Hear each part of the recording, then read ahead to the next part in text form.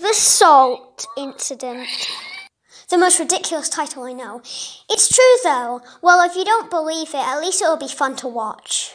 So one day I was in the living room. I was craving for something sweet. So I went to the kitchen and I went to get a pancake. So there was, I was going to put sugar on my pancake and they were like in some bottle things. They weren't labeled anyway.